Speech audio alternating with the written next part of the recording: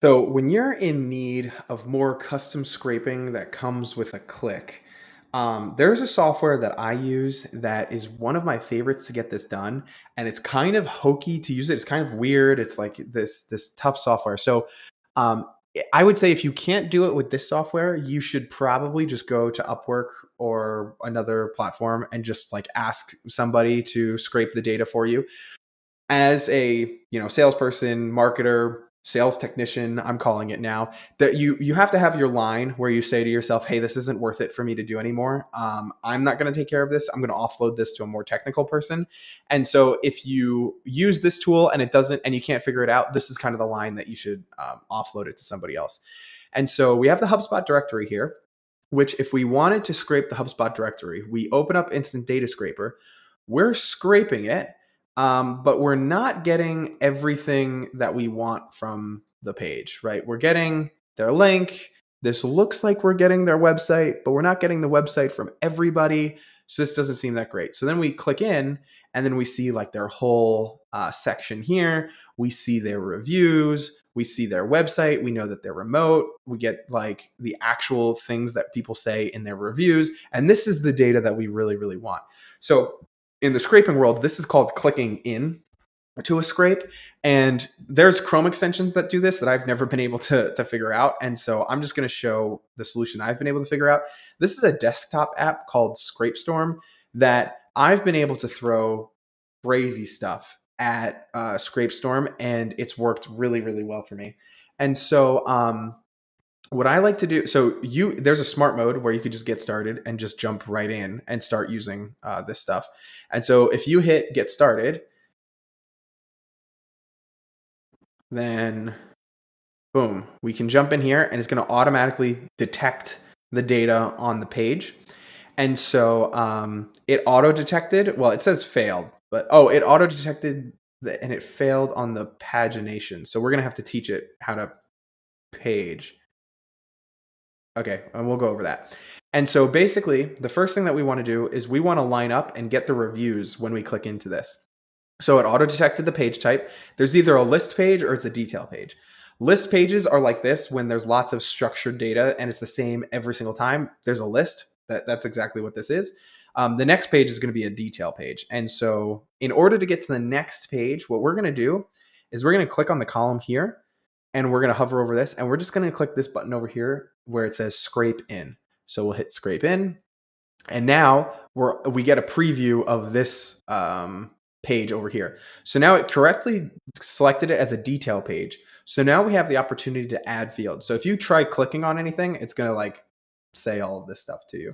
So you say, got it, whatever. What you actually want to do is you want to click add fields to the right over here. And then you're going to get this magic wand button. We're going to hover that magic wand over the visit website. It's going to say this field contains a URL link. Would you like to scrape it? Yep, that's what we want. So we'll hit, it'll say visit website here, but we'll get the website um, from them.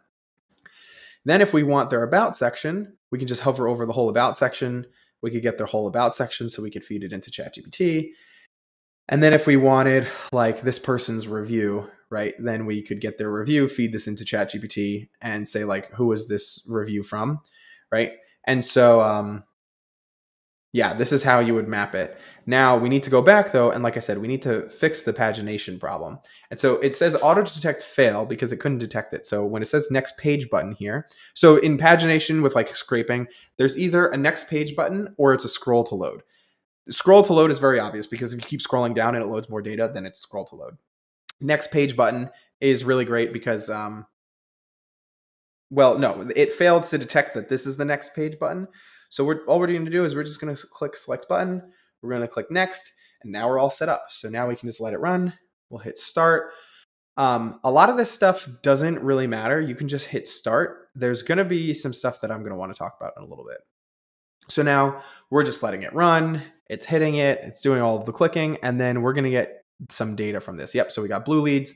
Um, Smartbug should be next. Yep. So we know it's going in order and see how we keep getting the websites. And so as we're setting this up, you just want to make sure that you watch this watch it paginate through like three pages that's like uh, so then you know that it's working and it's doing everything so i think there was like 50 results on each page so we'd wait until 50 to get there but for now we're just going to pause it and we're going to click on edit. So what this tool can also do is it can scrape things behind a login. What I will say is do not try to scrape LinkedIn with a tool like this. Um, just don't even mess with it. Like try not to scrape LinkedIn yourself, like as much as you can. Just outsource that. Don't don't do it yourself. Um, you can get your account banned and just don't do it. But if you are trying to scrape a company that has a login, um, this platform can take care of that. Um, and see how it says pre-login right here. It'll open up a page for you and you could essentially like click around and log in and do everything that you need to do and then it'll save what just happened. So i just clicked architecture. Imagine if i just logged in though. I click login succeeded and now i've just like filtered it. Oh it didn't keep architecture. Usually it does. I guess if it doesn't change the url and like your cookies it's not going to keep it. But anyway you could do a pre-login over here. What you can also do is you can solve captchas um, with this platform as well. And so you basically would just come in here and you could solve the CAPTCHA manually. They also have the ability for you to solve CAPTCHAs with like a, a, provider. So this one's really good for that as well. This, like I would say though, like their their support docs are really not that great.